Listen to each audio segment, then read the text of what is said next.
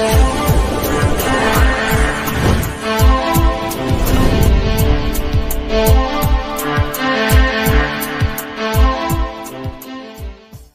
Friends இன்னைக்கு நம்ம பார்க்க போற டாபிக்னு பாத்தீங்கன்னா டயோட் அதாவது வந்து பிஎன் ஜங்ஷன் டயோட் சொல்லுவாங்க. இந்த டயோட் பாத்தீங்கன்னா இது ஒரு பேசிக் காம்பனன்ட் எலக்ட்ரிக்கல் காம்பனன்ட் கூட.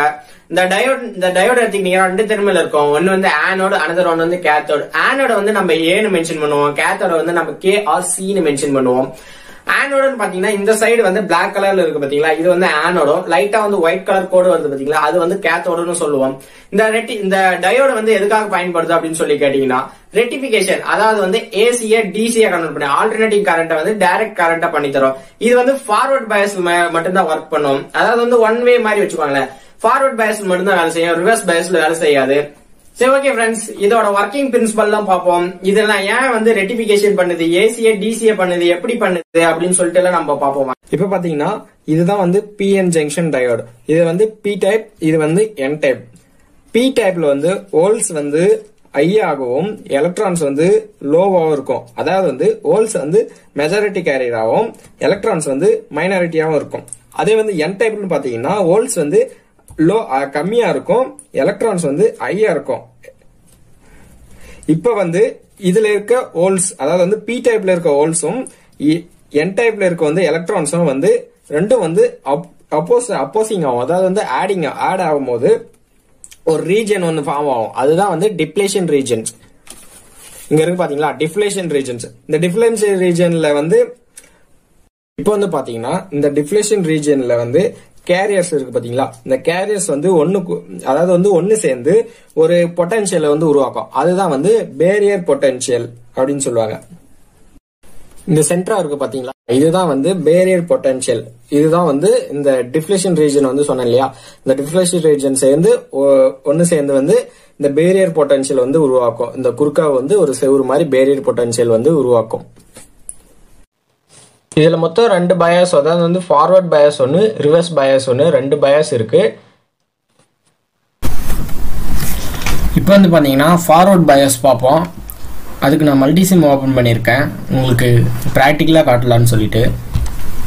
இப்போ வந்து நான் ஒரு ஏசி பவர் சப்ளை ஒன்று எடுத்துக்கிட்டேன். பாருங்கள் எடுத்துக்கிறேன். தென் ஒரு டயோடு ஒன்று எடுத்துக்கிறேன். ஏதாவது ஒரு வேல்யூ ஒரு ரெசிஸ்டர் ஒன் கிலோவும் எடுத்துக்கிறேன். ஒரு எல்இடி ஒன்று எடுத்துக்கிறேன்.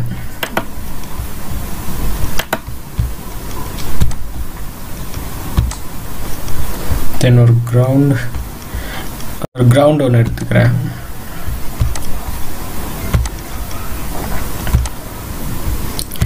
இப்போ பார்த்தீங்கன்னா அதாவது வந்து ப்ளஸ்ஸை வந்து நான் ஆல்ரெடி சொன்ன மாதிரி ஆனோடில் கனெக்ட் பண்ணும். அதோட கேத்தோட எட்டு போயிட்டு ஒரு ரெசிஸ்டரோட கனெக்ட் பண்ணுறேன் ரெசிஸ்டரோட இன்னொரோட எண்டை வந்து ஒரு லை எல்இடியோட கனெக்ட் பண்ணுறேன் இது வந்து நெகட்டிவ் வந்து எல்இடியோட நெகட்டிவில் கனெக்ட் பண்ணுறேன் இந்த கிரவுண்ட் எட்டு போய் இதில் கனெக்ட் பண்ணுறேன்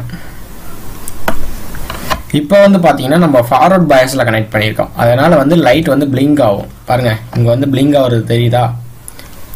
அதே வந்து நம்ம ரிவர்ஸ் பயஸில் அதாவது வந்து டயர்டை வந்து மாற்றி கனெக்ட் பண்ணால் லைட் வந்து பிளிங்க் ஆகாது.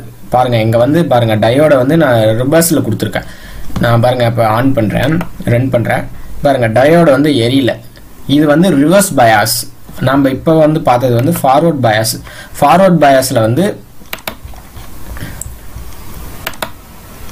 ஃபார்வர்ட் சாரி சாரி ஃபார்வர்ட் பயாஸில் வந்து லைட் வந்து க்ளோ ஆகும். ஆனால் ரிவர்ஸ் பயாஸில் லைட் வந்து க்ளோ ஆகலை. காரணம் என்னென்னா நம்ம வந்து டயோடை வந்து ஆப்போசிட்டாக திருப்பி போட்டிருக்கோம். அதுதான் காரணம். பாருங்கள் ஃபார்வர்ட் பயஸ் மறுபடியும் ஆன் பண்ணுறேன் ஃபார்வர்ட் பயஸில் வந்து பாருங்கள் லைன் லைட் வந்து பிளிங்க் ஆகிட்டே இருக்குது காரணம் என்னென்னா நம்ம ஃபார்வர்டில் கனெக்ட் பண்ணியிருக்கோம். அதாவது வந்து ப்ளஸ் எடுத்து போய் ஆனோட்லையும் அனதர் அனதரோட எண்டு எடுத்துகிட்டு போய் ரெசிஸ்டர்லையும் கனெக்ட் பண்ணியிருக்கோம். ஸோ கரெக்டாக ஃபார்வர்ட் பயஸில் இருக்குது அதனால் இது வந்து இருக்குது டயோடோட கான்செப்ட் என்னென்னா ஃபார்வர்ட் பயஸில் மட்டும்தான் ஒர்க் ஆகும். ரிவர்ஸ் பயஸில் வந்து ஒர்க் ஆகாது. இதுதான் இதோட கான்செப்ட் இதுதான் தியரிட்டிக்கலாக ப்ராக்டிக்கலாக பார்க்குறோம். புரியுதுங்களா? அடுத்தது வந்து மல்டிமீட்டரை வச்சு எப்படி டயோட வந்து செக் பண்றதுன்னு பார்ப்போம். இப்போ வந்து பாருங்க நான் ஒரு மல்டிமீட்டர் எடுத்துக்கிட்டேன். ஒரு டயோடு ஒன்று எடுத்துக்கிட்டேன். நான் ஆல்ரெடி சொன்ன மாதிரி இந்த சைடு வந்து ஆனோடும் இந்த கோடு வர சைடு வந்து கேத்தோடும் அப்படின்னு சொல்லிட்டேன். மல்டிமீட்டர்ல வந்து பிளஸ் ஆர் மைனஸ் ரெண்டு இருக்கும். இதுல வந்து இப்ப ஆனோட் சைடு வந்து பிளஸும் கேத்தோட் சைடு வந்து மைனஸும் வந்து கனெக்ட் பண்ணும். அதுக்கு முன்னாடி வந்து மல்டிமீட்டர்ல வந்து பசார் மோட்ல வந்து இது பசார் மோட்ல வச்சுக்கணும். இங்க பாருங்க இங்க இருக்கு பாத்தீங்களா? டயோட் சிம்பிள் மாதிரி பசார் மோடு இருக்கு பாத்தீங்களா? இதுல வச்சுக்கணும். சரிங்களா? இப்ப வச்சுட்டு வந்து பாருங்க வேல்யூ வந்து சேஞ்ச் ஆகும் இதுல வைக்கும் போது பாருங்க வேல்யூ வேல்யூ சேஞ்ச் ஆச்சுங்களா? அதுதான் சேஞ்ச் ஆகணும். இந்த மல்டிமீட்டர் கொஞ்சம் ப்ராப்ளம் நான் ஆல்ரெடி சொன்னேன் இல்லையா? கரெக்டா வைங்கன்னு சொல்லிட்டு. நான் அன்னைக்கு என்ன பண்ணிட்டேன்? ஏசி ஏசி இது டிசியை வச்சுட்டு ஏசியை வந்து செக் பண்ணிட்டேன். அதனால வந்து இது புகஞ்சு போச்சு. அதனால வந்து இப்போ வந்து வேல்யூ வந்து ஒரு டைம் டிஸ்ப்ளே பண்ணால் அதுக்கப்புறம் காட்ட மாட்டேங்குது. லாக்டவுன் டைம்ல என்னால் வாங்க முடியல. நீங்கள் வந்து இந்த பசார் மோட்ல வந்து வச்சுட்டு இந்த மாதிரி வந்து செக் பண்ணீங்கன்னா உங்களுக்கு வந்து ஒரு வேல்யூ காட்டும். அதாவது வந்து டூ ஹண்ட்ரடுக்கு மேல இருந்தா வந்து டயோடு வந்து நல்லா இருக்கு அந்த சவுண்ட் வந்துச்சுன்னா வந்து பயோ டயோடு வந்து பால்ட்டு அப்படின்னு அர்த்தம். இப்போ என் மல்டிமீட்டர் வந்து ப்ராப்ளம் இப்போ வந்து பார்த்துருப்பீங்க நீங்க ஒரு கொஞ்சம் டிஸ்பிளே ஆகிறது பார்த்துருப்பீங்க. அது மாதிரி உங்களோட உங்ககிட்ட இருந்தா நீங்க வந்து செக் பண்ணிக்கோங்க. சரிங்களா? இப்போ வந்து நம்ம ஏசியை எப்படி டிசியா கன்வெர்ட் பண்றதுன்னு பார்ப்போம். ஃபர்ஸ்ட் ஒரு நான் ஒரு நாலு டயோடு எடுத்துக்கிறேன். எடுத்துக்கிறேன்.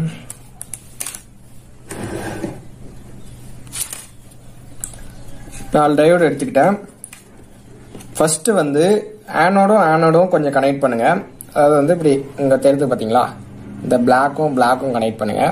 நான் சர்க்கியூட் டயராமீட்டர் சைடில் தர பாருங்க.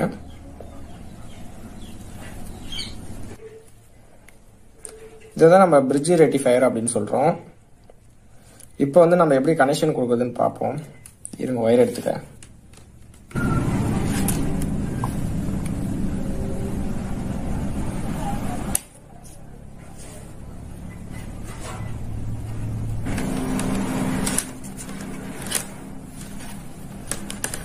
இப்போ வந்து பாத்தீங்கன்னா நான் வந்து கனெக்ட் பண்ணிட்டேன்.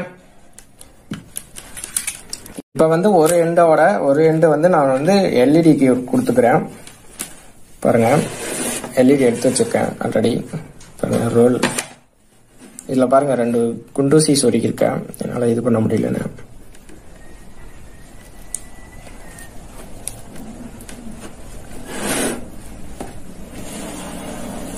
கொஞ்சம் டச் ஆகாத பார்த்துக்கோங்க. நீங்கள் யாராவது ட்ரை பண்ணுறதா இருந்தா. நான் அர்ஜென்ட்டுக்கு அப்படியே வச்சுட்டேன். இல்லைன்னா நாங்கள் கொஞ்சம் டேப் அடிச்சு தான் வைப்போம். டேப் அடிச்சு க்ளூ கன் ஊற்றி வைப்போம். பாருங்க கனெக்ட் பண்ணிட்டேன். இன்னொரு ரெண்டு எண்டு இருக்கு பாருங்க.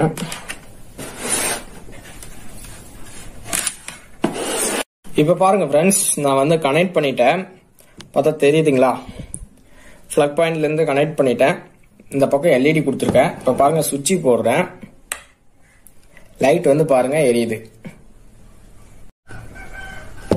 இதுதான் ஃப்ரெண்ட்ஸ் ரெக்டிஃபயர் ஏசி டு டிசியை கன்வெர்ட் பண்ணுறது இரநூத்தி முப்பது வோல்ட் பாருங்கள் நான் இப்போ வந்து வைக்கிறேன் மல்டிமீட்டரில் காட்டும்.